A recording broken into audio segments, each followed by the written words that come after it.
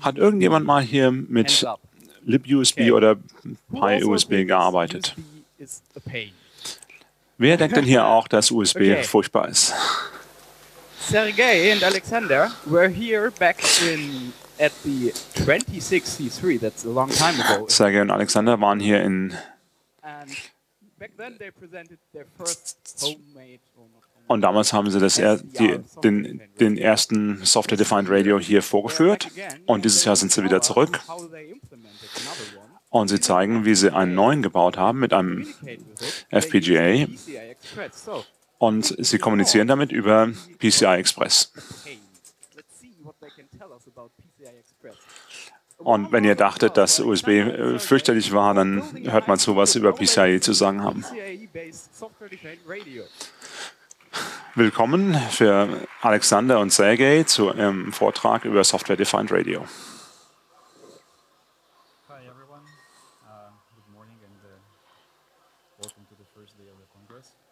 Guten Morgen und willkommen zum ersten Kongresstag.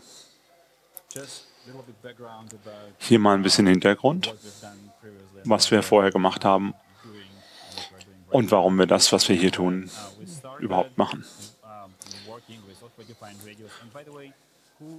Wir haben mit, ja, wer weiß denn überhaupt, was SDR ist? Ah, ausgezeichnet.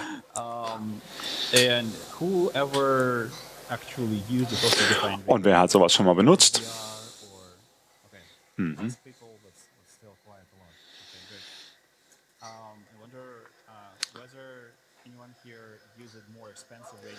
Ich würde gerne mal wissen, ob irgendjemand was äh, Teures benutzt hat. Usurps.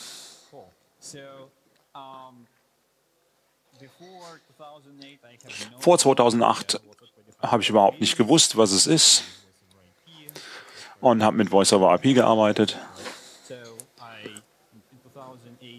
Und 2008 habe ich über OpenBTS gehört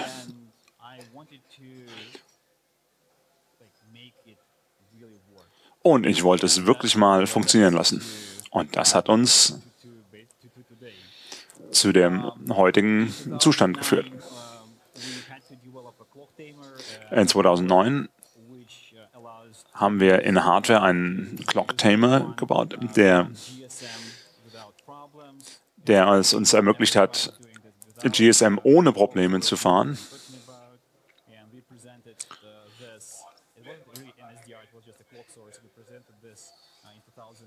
In 2009 war es nur eine, eine Zeitquelle. Und USRP1 ist keine so gute Basis, wenn man äh, Industrial Grade Base Stations bauen will. Und deswegen haben wir angefangen, unser eigenes zu bauen, welches wir UMTRX Umtrix nennen. Das haben wir in 2011 angefangen. Und unsere ersten Base Stations darauf basierend sind in 2013 rausgekommen. Aber ich wollte schon immer etwas Kleines und Günstiges haben. Aber damals war es nicht möglich. Meine ursprüngliche Idee in 2011 war eine PCI-Express-Karte, eine Mini-PCI-Karte. Es gab Wi-Fi-Karten und ich habe gedacht, das wäre toll, in diesem Formfaktor das zu haben, sodass ich es in meinen Laptop reinstecken kann. Oder in einen Embedded PC. Und es wäre klasse, dann ein schönes äh, Software-Defined Radio-Equipment zu haben. Aber damals war es nicht möglich, weil die Elektronik größer war und mehr Strom brauchten und es hat einfach nicht funktioniert. Und deswegen haben wir OMTX über Gigabit Ethernet gebaut. Es war ungefähr so groß wie, eine, wie zwei Zigarettenschachteln. Und dieses Jahr haben wir etwas Neues entwickelt, was mich dahin bringt, wo wir hin wollten. Der X-Trix ist ein Mini-PCI Express.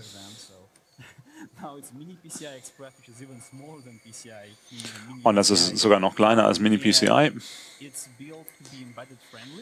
Und es ist so gebaut, dass man es in Embedded-Geräte reinstecken kann.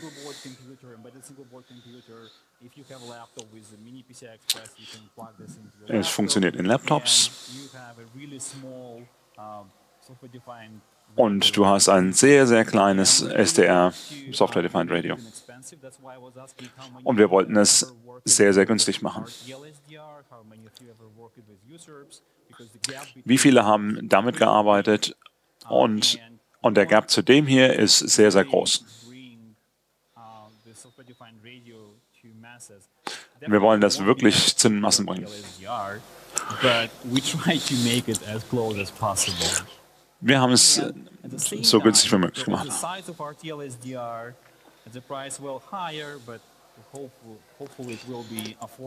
Der Preis wird ein bisschen größer sein, aber hoffentlich kann sich jeder leisten.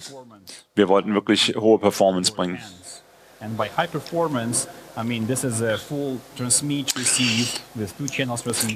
Er hat zwei Channels äh, Transmit, zwei Channels Transceive. Und in der äh, Radiowelt heißt das zweimal Mimo, zweimal zwei Mimo. Und wir wollten das zu 160 Megasamples pro Sekunde bringen. Und das sind ungefähr 120 MHz äh, Radiobandbreite. Was haben wir geschafft? Also das ist der Mini PCI Express Formfaktor. Es hat einen kleinen und den günstigsten FPGA, den Arctic 7, der mit PCI Express funktioniert. Es hat diesen LMS 7000 Chip für sehr hohe Leistung, für äh, enge Kopplung. Es hat sogar einen GPS-Chip mit drin.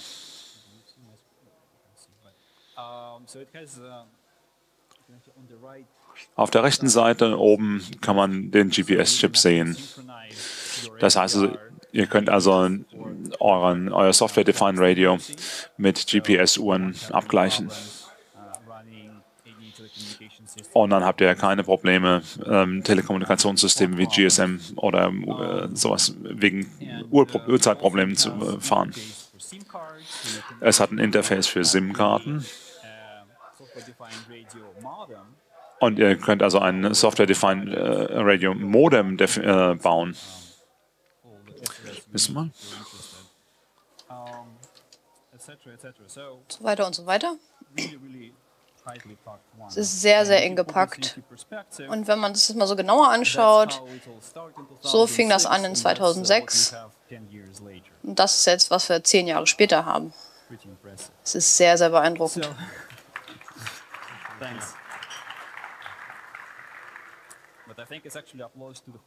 Das ist aber der Applaus für die ganze Industrie, die das hingekriegt hat. Wir haben nur ein bisschen Zeug auf, auf das Board getan aber wir haben nicht das Siliko äh, die, die Chips selber gebaut, von daher. Das Spannende ist, dass diese erste Herangehensweise, die wir hatten, dass wir alles auf dieses enge PCB-Design packen, äh, auf acht Schichten. Und als wir dieses, als wir versucht haben herauszufinden, wie viel das kostet, das sind ungefähr 15.000 Dollar pro Stück. Natürlich bei ganz kleinen Stückzahlen, aber trotzdem ist es immer noch ziemlich viel.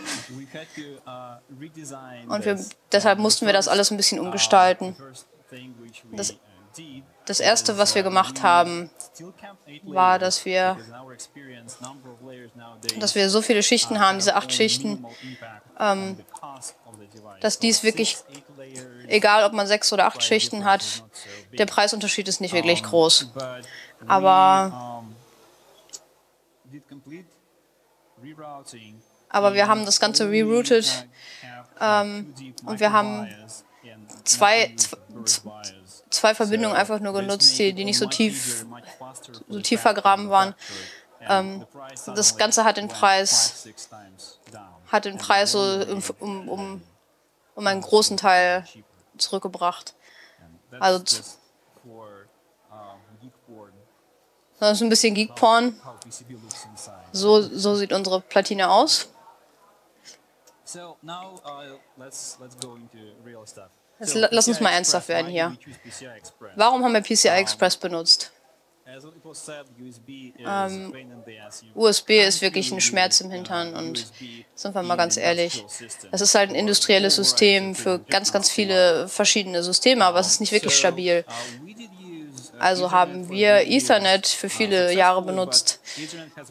Ethernet hat aber ein Problem das, das, es geht so, ein Gigabit geht gerade so und aber es bietet nicht so die Bandbreite, die wir brauchen.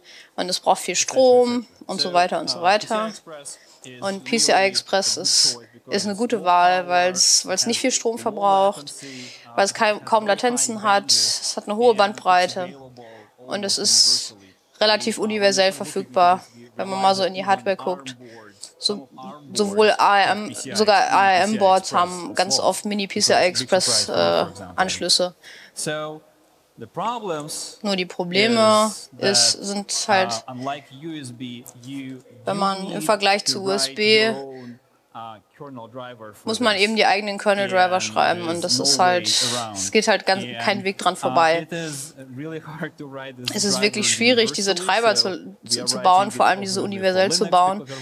Deswegen mussten wir sie halt für Linux bauen. Aber wenn man das Ganze für Windows oder für Mac umschreiben möchte, dann müsste man sehr, sehr viel arbeiten. Und, und deshalb machen wir das bisher nur auf Linux, weil es so kompliziert ist. Das Schwierigste ist Debugging. Wenn man schon einen kleinen Fehler hat und der hängt halt der komplette Computer, weil wir einen Fehler gemacht haben. Man muss den, muss den neu hochfahren und alles wieder starten. Deshalb ist es etwas schwierig. Ähm, uh, Und es wird noch schlimmer. Es, es ist kein Plug-and-Play-Interface. Also, wenn man, uh, wenn man eine PCI-Express-Karte hat, äh, wenn man die neu starten will, dann muss man halt das komplette, das komplette Entwicklungssystem neu starten. Das ist nicht wirklich schön, es ist wirklich kompliziert. Das Erste, was wir gemacht haben, ist, dass wir Thunderbolt 3 benutzen. Das ist ja gerade relativ frisch veröffentlicht. Das hat die Möglichkeit, dass man, dass es halt direkt dass man direkt mit PCI Express arbeiten kann. Ähm, es hat einen Modus, in dem man PCI Express in, in, in, in uh, Plug and Play ver verarbeiten kann. Ähm, und bei Thunderbolt 3 kann man das halt sehr gut nutzen, um Plug and Play wiederherzustellen. So dass man das Gerät halt an und wieder abschließen kann und das Ganze einfacher wird. Aber da sind immer noch Probleme. Es wird nicht einfach. Es gibt keine Dokumentation. Thunderbolt 3 ist nicht kompatibel mit den alten Standards von Thunderbolt. Also mussten wir einen speziellen Laptop kaufen, der Thunderbolt 3 hat, der entsprechende Kabel hat. Und wenn man Dokumentation haben will, da muss man halt ein NDA unterschreiben. Man muss auch so eine Art von Businessplan haben, was man damit anstehen, anstellen will. Und die müssen halt zustimmen, dass, dass dein Businessplan irgendwie Sinn ergibt. also haben wir gesagt, okay, das wird nicht unsere Lösung. Ähm, wir haben, wir haben jemanden, wir haben jemanden gefunden, der halt diese speziellen äh, PCI Express und Thunderbolt Konverter baut. Und das hat uns sehr, sehr viel Zeit und vor allem auch Geld gespart, so dass wir es halt einfach bestellen konnten.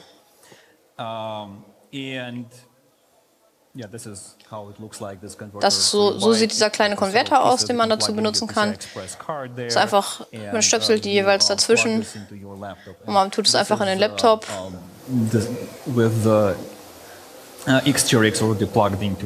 Da kann man halt diese X-Tracks alles ein, einschließen. Typically, UEFI uh, Üblicherweise hat das UEFI so einen so so ein Security-Check ähm, wenn ein Thunderbolt-Gerät, was auch immer, da reinkommt, dann könnte das halt diesen PCI Express-Slot äh, nutzen.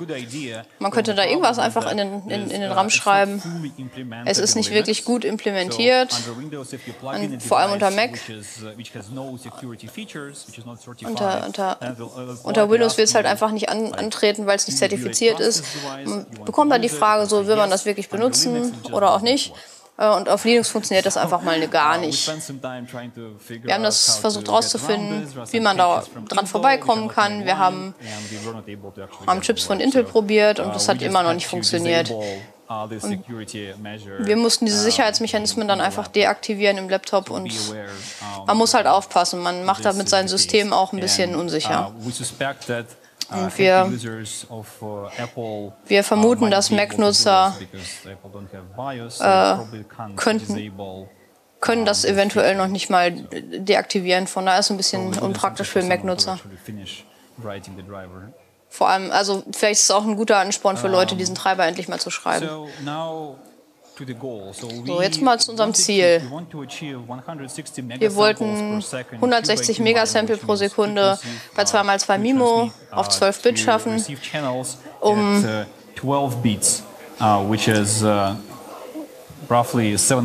und das sind insgesamt 7680 Megabit pro Sekunde. Als wir, als wir dieses Board halt bekommen haben, dann haben wir halt auch immer ausprobiert und es hat nicht funktioniert. Das erste Ding, was uns aufgefallen ist, das, F, das FPGA die FPGA-Hardware blockt halt diese PCI-Hardware zum um, um, serial physical layer. Implementiert sich halt damit. Das Problem ist aber, die, die uh, Nummerierung ist halt falsch rum sozusagen. Wenn man, wenn man FPGA Lane 0 hat, dann ist PCA, PCIe Lane eben die 1 und andersrum. The lanes, you can see this very fine. Um, Wir haben das jetzt hier auch mal so ein bisschen dargestellt, das sieht man nicht so gut, also, aber uh, ähm, wir haben außerdem herausgefunden, dass halt eine der Komponenten kaputt war.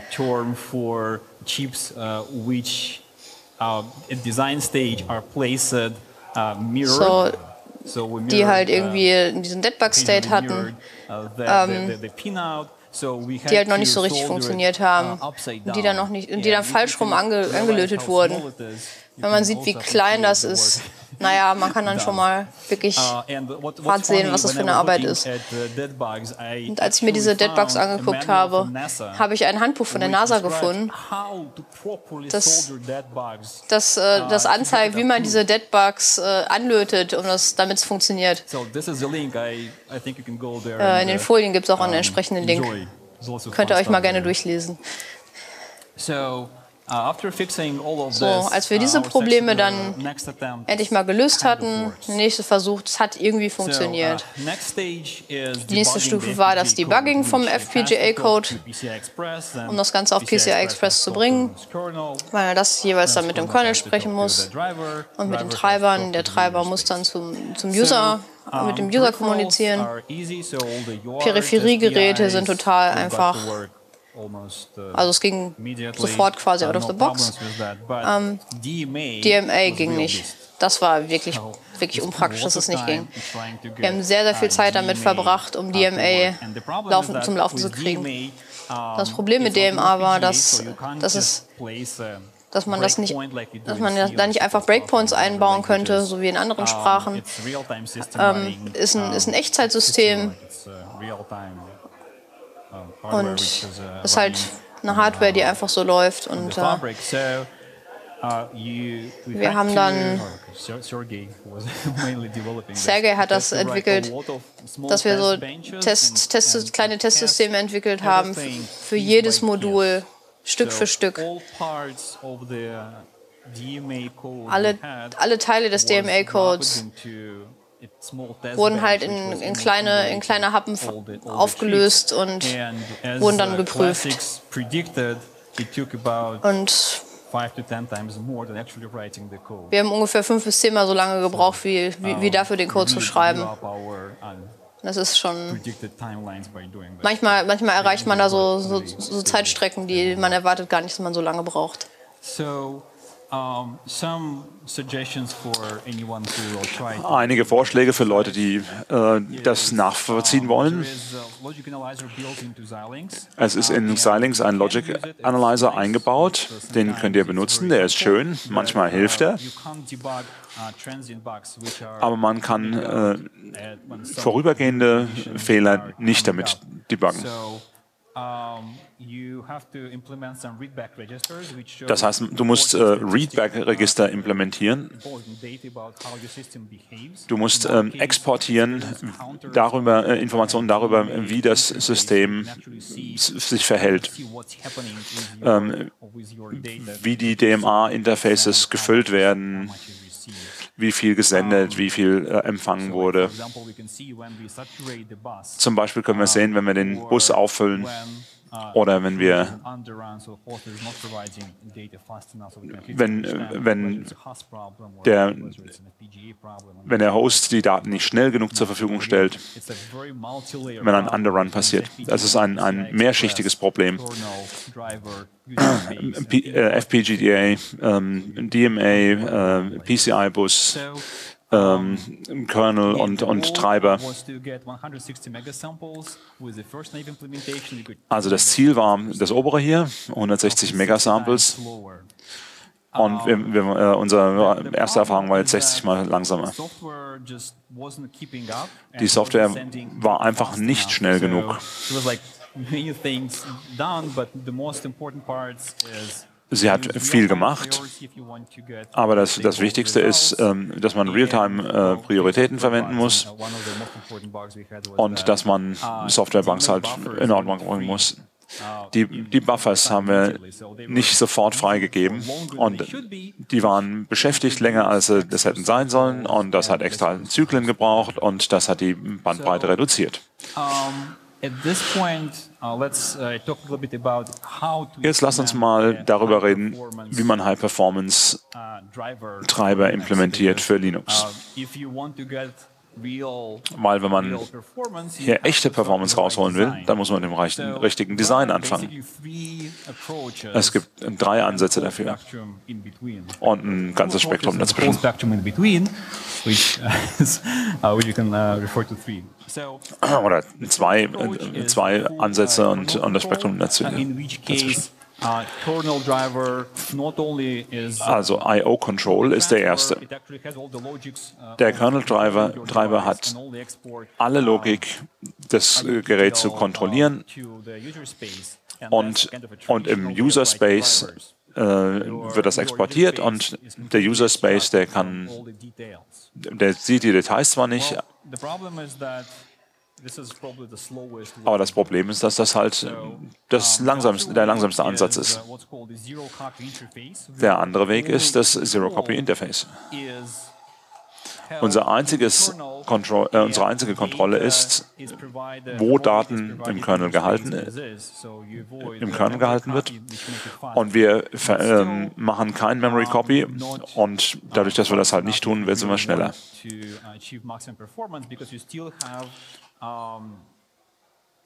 Und wir- Ah, und es passiert noch ein Context-Switch zwischen Kernel und User Space und damit verliert man immer noch mal Zeit.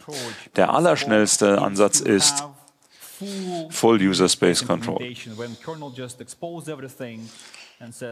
Also der, der Kernel, der ähm, zeigt dem Benutzer alles und sagt so, und jetzt machst du es mal selber. Und dann hat man keine Context-Switches mehr und der Benutzer ähm, kann wirklich selber darauf zugreifen und, äh, und alles optimieren.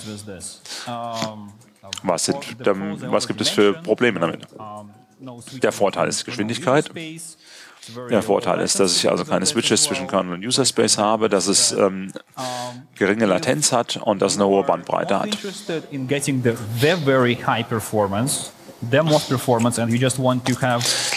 Wenn die höchste Performance mir nicht das Wichtigste ist, little, perf- like say low bandwidth performance, then um, you will have to add hacks because you can't get notification from the kernel that resources available, just more data available. also ich kann So Ich kann äh, angegriffen werden. Also Ja, es macht es- angreifbar. Wenn der over to Benutzer others. im Bereich das äh, zugreifen kann, uh, dann kann man es halt auch von außen leichter angreifen. oh, Noch eine wichtige Sache. Uh, Wie uh, kriegt man tatsächlich die beste Performance aus dem Bus raus? uh. Also entweder Polling oder Notifications. polling ist, wenn ich regelmäßig nachfrage, bist du? Are you ready? bist du fertig, bist du fertig, bist du fertig? Und dann kriege ich die Daten. Ein, ein Busy Loop, ja, also ein, uh, eine Schleife, die die ganze Zeit läuft und immer wieder prüft. Zum Glück haben wir mehrere CPUs und ähm, man würde ein ganzes Core nehmen der nur die ganze Zeit immer wieder fragt und die ganze Zeit immer nur schaut, ob was Neues da ist. Wenn ich aber nicht diese höchste Performance brauche und, ähm, und diese CPU nicht verschwenden möchte, am Schluss haben wir eine Architektur gewählt, die kombiniert ist. Es, es ist möglich, das Polling zu verwenden. Und es ist auch möglich, äh, das über, über Interrupts, über Notification zu machen. which I think is the best way if you're uh, trying to target both worlds. Und das ist der, der beste Ansatz, wenn man äh, beide Welten bedienen will. Hier ist die Architektur unserer Bibliothek. Of the system. So we try to make it very, very portable. So, Wir haben versucht, es uh, portabel zu halten. flexible. und flexibel zu halten. Uh, there is a, a kernel driver. Es gibt einen Kernel-Treiber. Um, there, yeah. Um, yeah, there is a, there is a, a kernel driver. uh, which, uh, talks to, uh, Der Kernel-Treiber low-level library, spricht mit einer Low-Level-Bibliothek. Das sind die Dinge, die PCI wir rausgenommen haben, um uh, Express zu kontrollieren, um uh, mit all zu reden. uh, uh, und die Details der Busimplementierung zu, uh, there zu abstrahieren. Und dann haben wir eine High-Level-Bibliothek, also die mit dieser Low-Level-Bibliothek redet, um- um die Peripheriegeräte zu äh, kontrollieren und insbesondere unser- unser XTRX. Wir können das vielleicht zu anderen Betriebssystemen mitnehmen um, that's, that's the goal. und das ist unser Ziel gewesen. Um, Ein weiteres interessantes Problem ist, uh, wenn man einen Linux-Treiber schreibt, uh, Wenn man also sich auf dieses Buch bezieht, was äh, LDD, das, uh, das ist nicht mehr aktuell. Uh, 10 years Linux. Device Drivers Book, ja, LDD. And new interfaces which are not described there, so you have to resort to, to reading the manuals. Also dieses Buch ist nicht aktuell genug, deswegen muss man the alle. Handbücher von den Geräten selber lesen. Ja, wenigstens kriegt man up-to-date So, Informationen.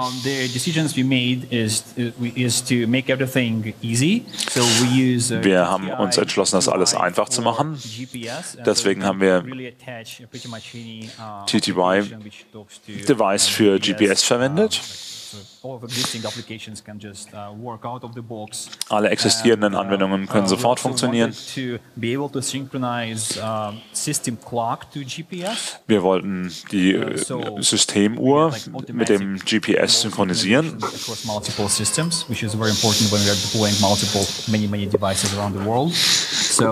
Diese Synchronisierung ist wichtig, wenn man viele Geräte um die ganze Welt ähm, betreiben will.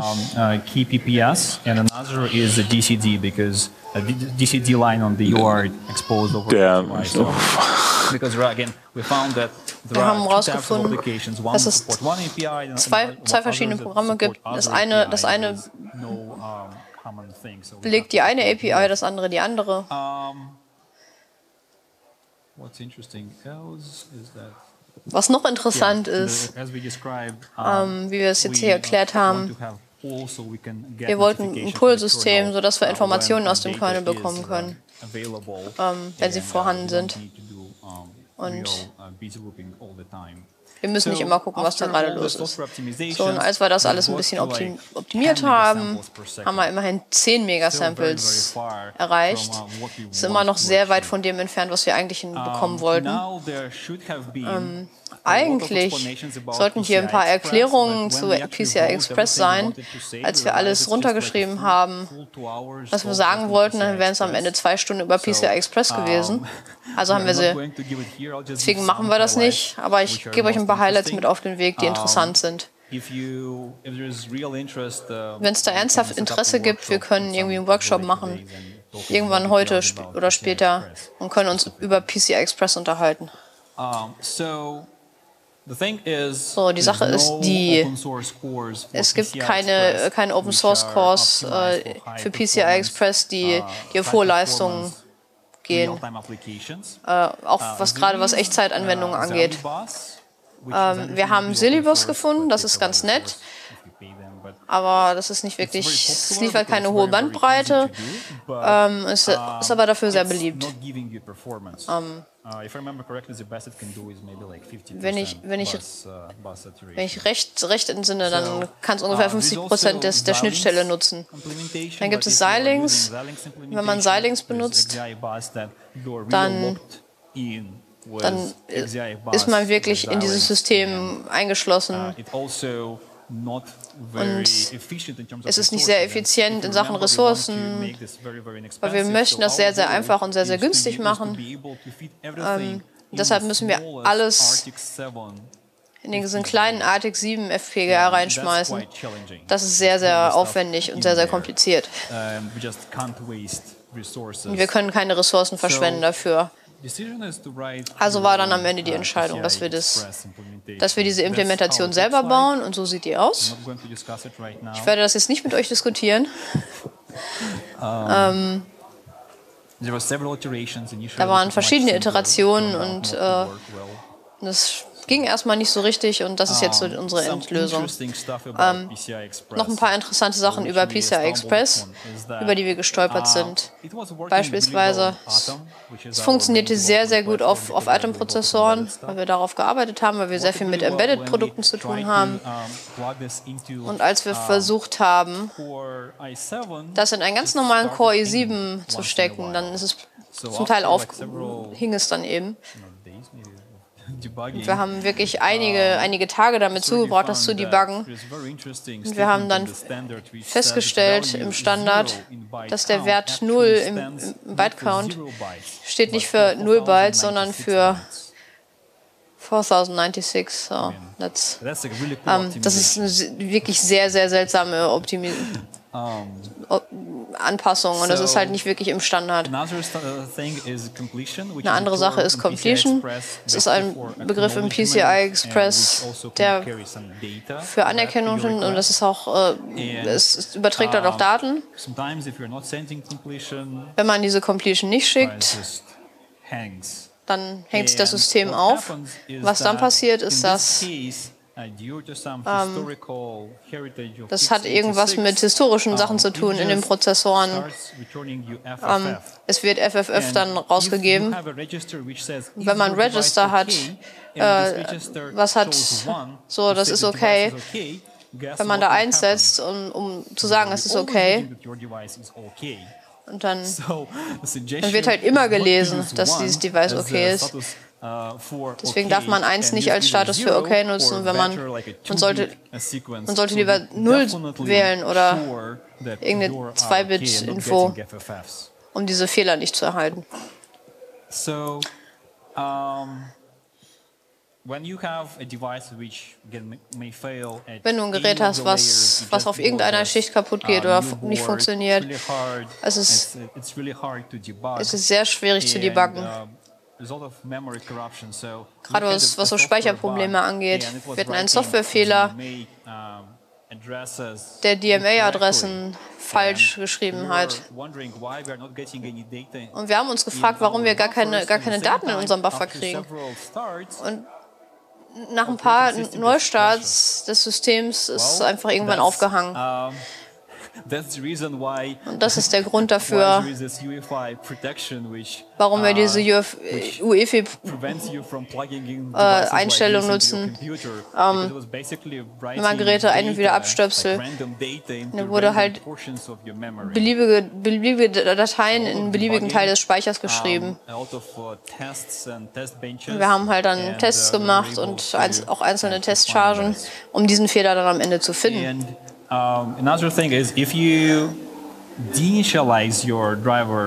Eine Sache ist, wenn, wenn man Sachen deinitialisiert, ähm, dann, dann kann man in eine Situation kommen, wo man in Speicher schreibt, der bereits freigemacht wurde von anderen Systemen. Das ist ein sehr bekanntes Problem und das passiert auch hier. Uh, Aber warum ist DMA so, so schwer? Uh, ähm, uh, es gibt diese, die, diesen, dieses Completion-Ding, diese Architektur fürs, für Schreiben, nee, für, Entschuldigung, um, um, um, Daten zu lesen. Ähm, wenn man wenn man so abschickt, dann, dann ist sie halt weg und ist auch raus, aber wenn man es liest, da muss man seine Dat Daten irgendwie in einem brauchbaren Format zurückkriegen. Und das sieht übrigens so aus. Wir hatten eigentlich gehofft, dass wir euch irgendwie was zeigen können, aber oben links kann man sehen, das sind die Anfragen zum Lesen. Und rechts sehen wir halt diese Completion-Transaktionen. Jede Transaktion kann, kann in verschiedene Transaktionen aufgeteilt werden. Ähm, man muss all diese Teile wieder zusammensuchen. Und diese, diese in die richtigen Stellen des Speichers schreiben. Und das ist aber nicht alles. Die Sache ist die, dass die Latenz zwischen Anfrage und Completion ist halt sehr, sehr hoch. ungefähr 15, 15 Zyklen. Und wenn man nur, nur eine einzige äh, Transaktion hat, dann hat man diese multiplen Transaktionen in Sachen Completion. Und Transaktionen können auch Daten in, in einer beliebigen Reihenfolge raushauen. Das ist sehr, sehr kompliziert und sehr komplex vor allem. Ähm, und vor allem komplexer, als wir am Anfang gedacht hatten. Wenn man uh, und wir mussten das erstmal bemerken, als wir das eingebaut haben. So, hier war auch, äh, hier war auch so eine Beschreibung, wie das überhaupt alles so funktioniert hat, aber das haben wir uns jetzt gespart. Jetzt, nachdem wir diese ganzen Optimierungen durchgeführt haben, haben wir 20 Megasample pro Sekunde. Das ist nur sechsmal langsamer, als was wir ursprünglich angepeilt hatten. Now, the next thing is PCI Express das nächste ist, dass wir PCI Express Lanes Scalability adressieren müssen. Es ist ein serieller Bus und hat mehrere Spuren und die, äh, die lassen uns horizontal skalieren. Und je mehr Spuren man nimmt, desto mehr Performance kriegt man raus.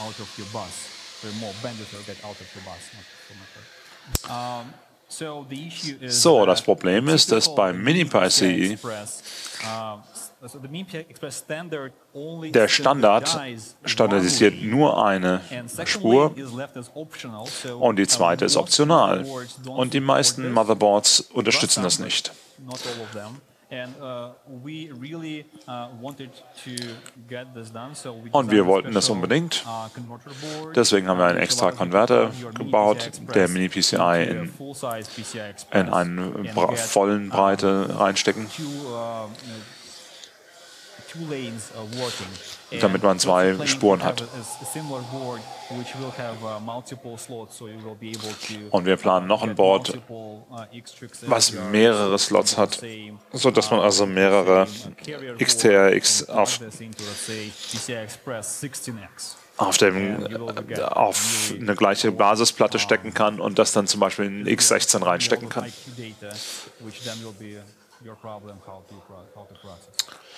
Und ihr werdet dann das Problem haben, wie ihr mit den ganzen Daten umgehen wollt.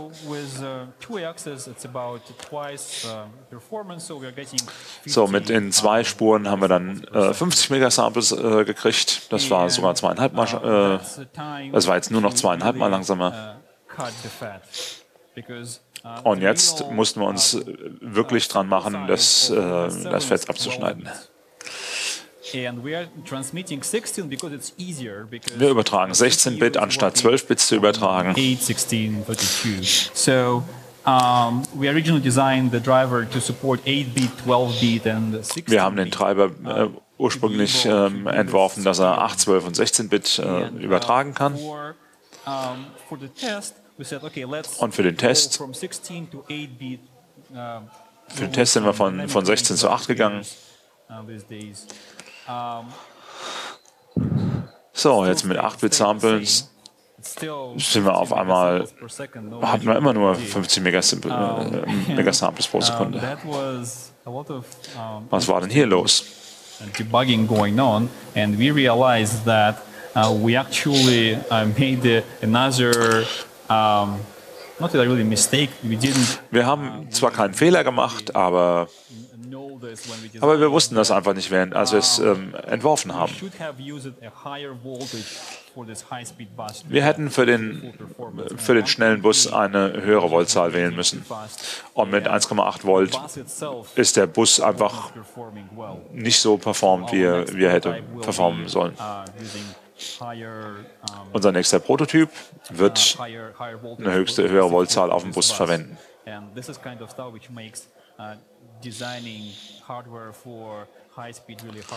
Und das ist, äh, was wirklich den, das Design für Highspeed sehr, sehr schwierig macht, weil man tatsächlich auch auf solche Details achten muss. Wir wollen 1,8 Volt für die anderen Sachen. Der Mini-PCI Express Standard erlaubt nur zweieinhalb Watt für das Gerät und nicht mehr.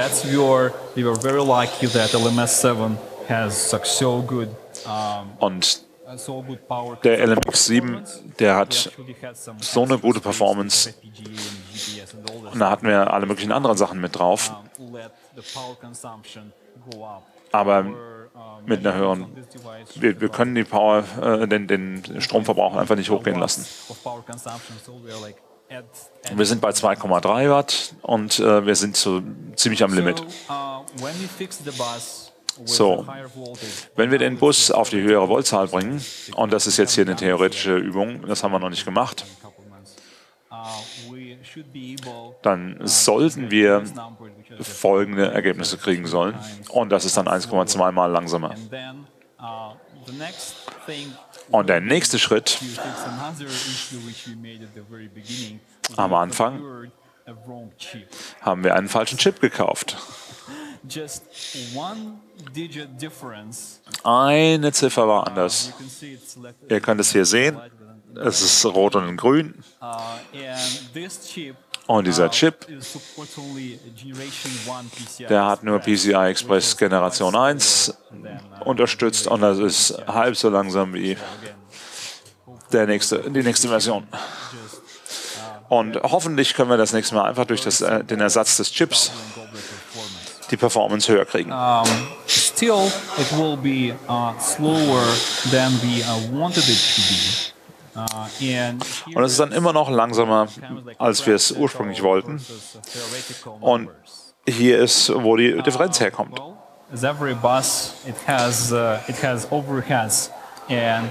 Jeder Bus hat eine Overhead. Der Standard gibt uns 4 Kilobyte Payload. Aber die eigentlichen Implementierungen, Laptop-Computer, sind da einfach anders. Die haben nur 128 Byte Payloads. Und damit gibt es ein großes Overhead auf dem Bus. To transfer, uh, to transfer data, and even theoretically, you can only achieve 87 uh, per four, uh, Und Theoretisch kann man mit äh, so einem Payload nur 87 Prozent äh, Effizienz erzielen.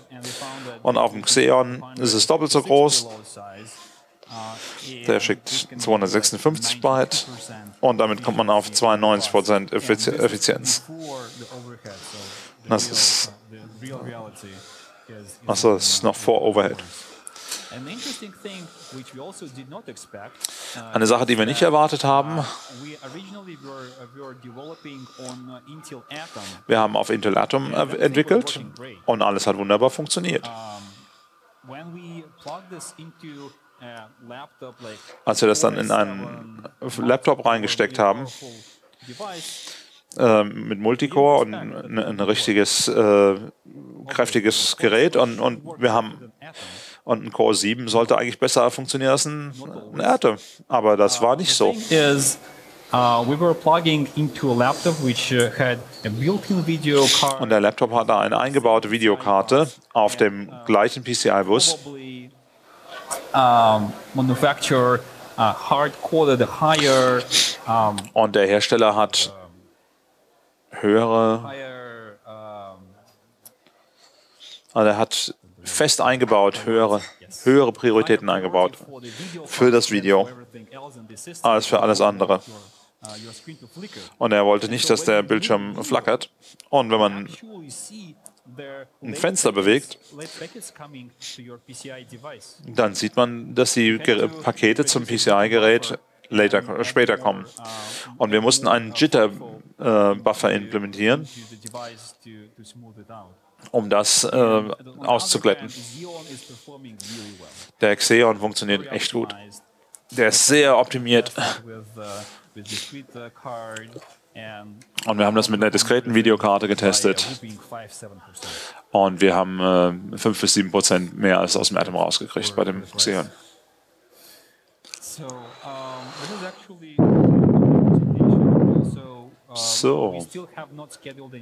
Ende der Vor des Vortrages und wir haben noch keinen Workshop.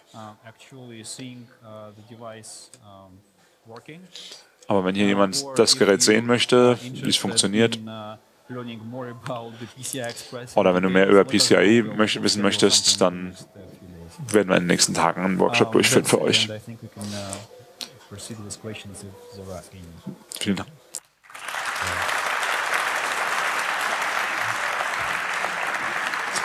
Okay. Thank you very much. Um, if you are leaving now, please try to leave quietly because we might have some questions and we want to hear them. And if you have questions, please line up right behind the microphone. And I think we'll just wait because we don't have anything from the signal angel. Uh, however, if you're watching on stream, um, you can hop into the channels and over social media to ask questions, and they will be answered. So, um, that microphone. Um, Was sind die minimalen und maximalen Frequenzen der Karte?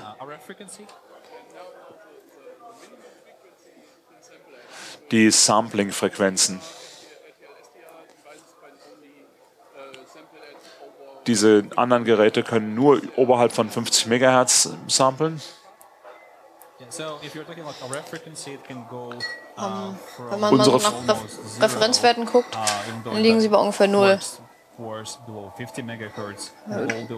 Unter 15 MHz bis zu 3.8 GHz. Ja. Und wenn es um die Samplingrate geht, aktuell geht es von 2 Megasample bis 50 Megasamples. Aber wir arbeiten halt gerade auf diese Zahlen zu kriegen.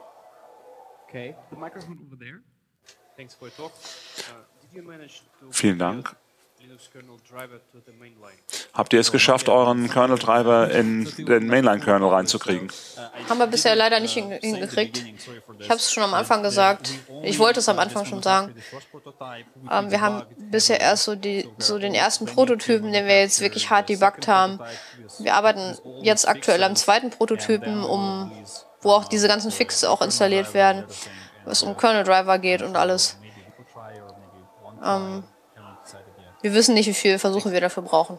Okay, and over That will be the whole other experience. Okay, over there? Es sieht so aus, als ob ihr durch eine ganze Menge Schmerzen durchgegangen seid, um das zu bekommen. Habt ihr irgendwelche Simulatoren gebaut? Habt ihr irgendwelche Simulatoren gefunden für PCI Boss oder dass man so ein System im Simulator entwerfen kann und dann debuggen kann? Ja, es gibt Simulatoren, aber die Probleme sind halt, dass, dass sie nicht gratis sind, also man muss dafür bezahlen. Und ja, deshalb, deshalb ist es halt etwas schwieriger. Okay, we have a question from the Signal Angel. Yeah, um, are the FPGA codes, Linux driver and library code and the design project files public and if so? Sind diese Codes für den FPGA, für den Linux-Treiber und äh, die Bibliothek öffentlich? Und kann man die irgendwo finden? Die sind nicht veröffentlicht bisher. Äh, die Treiber und Libraries sollten, sollten demnächst irgendwann Open Source verfügbar werden. Wir werden die veröffentlichen zusammen, zusammen mit der öffentlichen, öffentlichen Bekanntgabe des ganzen Projekts. Also, ja.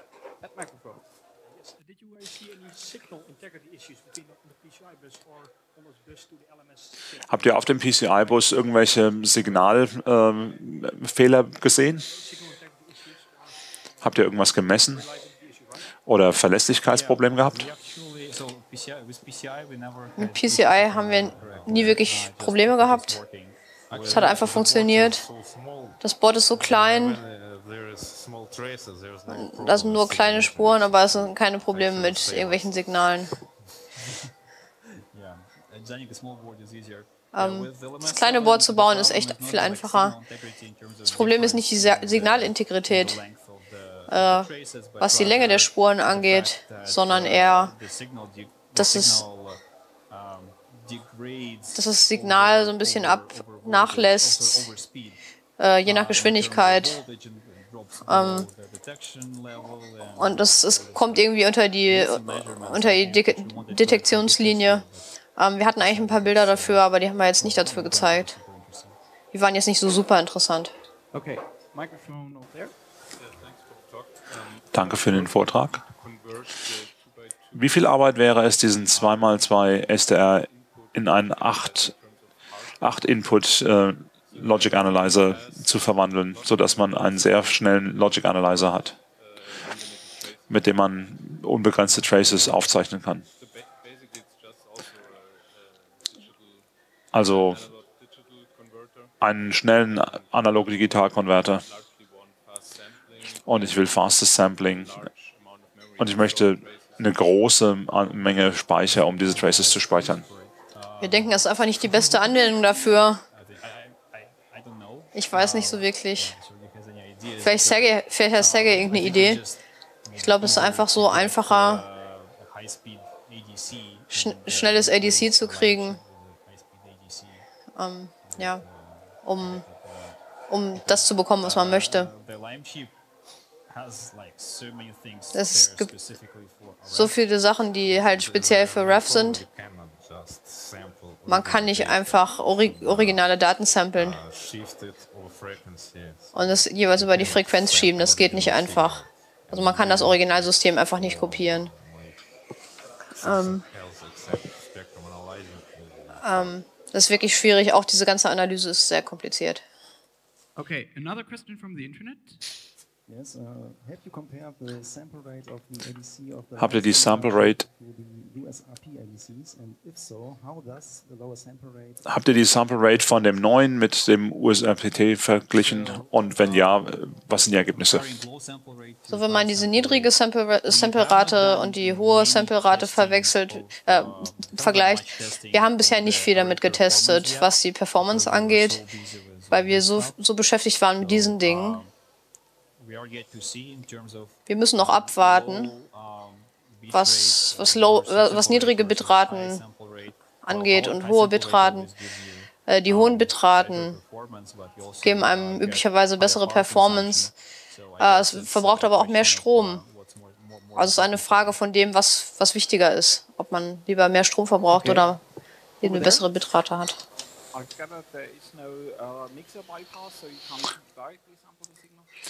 Ich habe gesehen, es gibt keinen Mixer-Bypass. Ihr könnt also nicht direkt das äh, Signal äh, aufnehmen. Gibt es einen Send Das gibt es tatsächlich. Aber es ist, es ist nicht wirklich ein Bypass. Es ist irgendwie so ein Umgang von dem Chip. Ähm, da wir nur nicht, nicht wirklich so viel Platz hatten, haben wir, haben wir das eben ein bisschen umgeschrieben. Deswegen kann man das nicht einfach umgehen. In unserer Hardware ist das so. Grundsätzlich gibt es das aber in den Chips, ähm, der das möglich macht, dass man, dass man das Signal direkt auf, auf ADC schreiben kann. Unabhängig von Mixern, Filtern, allen möglichen Dingen. Ähm, grundsätzlich ist es möglich und wir haben auch tatsächlich darüber nachgedacht, das zu machen, aber wir haben uns dazu entschieden, dass es nicht zu unserem Design passt. Und kann ich Antennen mit anderen Antennen gemeinsam verwenden? Ich würde gerne die gleiche Antenne für Senden und Empfangen verwenden. Ja, das hängt davon ab, was du machen möchtest. Wenn man das ADC-System benutzen möchte, dann geht das. Wenn du das FDD-System benutzen möchtest, dann braucht man halt einen Duplexer. Aber man kann das einfach in seinen Laptop stecken und die bereits vorhandenen Antennen benutzen. Das war, das war, eine, war einer der Gründe, warum wir X-Tracks benutzen. Weil da vier Anschlüsse sind.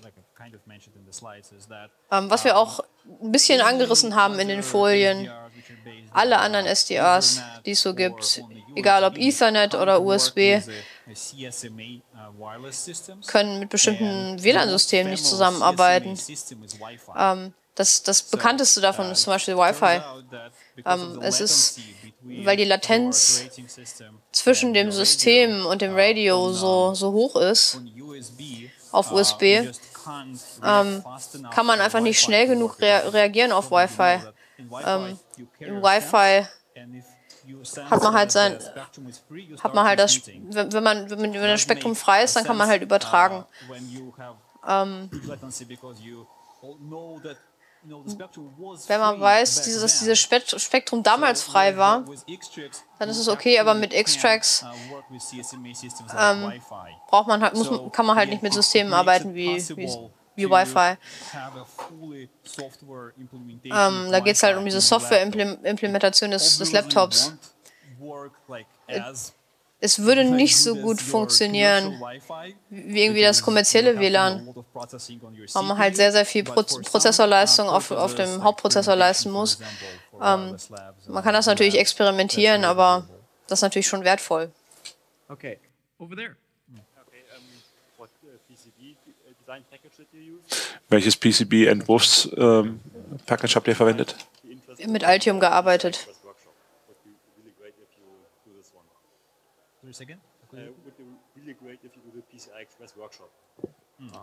Es wäre toll, wenn ihr den PCI Express Workshop tatsächlich heute noch durchführen würdet, dieses 33C3.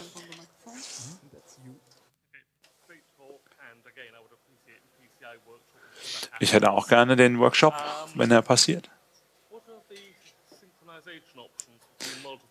Was sind die Synchronisierungsmöglichkeiten zwischen verschiedenen Tasks? Kann man die Uhr synchronisieren? Und kann man das digital hergestellte IF synthetisieren? Diese IF-Geschichte äh, ist nicht möglich wegen, wegen der niedrigen Frequenz, aber man kann digital das Ganze digital pairen. Ähm, wir haben verschiedene Lines für, für die, für die Clock-Synchronisation, aber äh, wir können sehr, sehr viel über Software bauen. Ähm, man, man kann zum Beispiel die Phasenunterschiede messen.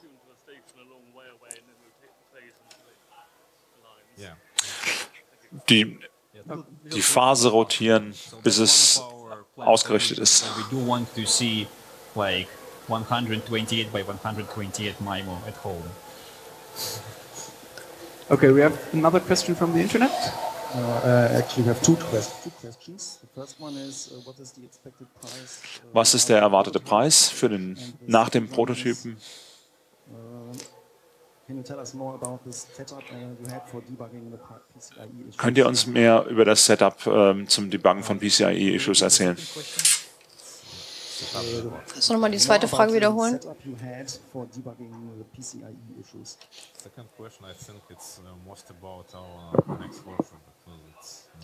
Die zweite Frage, die betrifft vor allem, es ist sehr, sehr kompliziert zu erklären. Wir haben ein sehr, sehr hartes Setup da gehabt.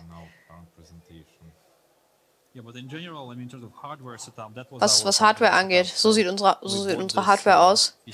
Wir haben diesen PCI Express zu, auf, auf Thunderbolt Adapter gekauft. Ähm, wir haben einen Laptop mit Thunderbolt 3 gekauft. Und so haben wir es halt debuggt. Also man muss nicht so einen mega krassen Computer haben, der irgendwie alles kann. Was den Preis angeht, wir haben keinen festgelegten Preis bisher. Was ich bisher sagen kann, ist, dass wir so ungefähr auf, auf nicht mehr als, als, üblichen, als die üblichen Geräte sein wird. Es könnte sogar in einigen Versionen günstiger sein. Okay, we are out of time. So thank you again, Sergey and um, Alexander.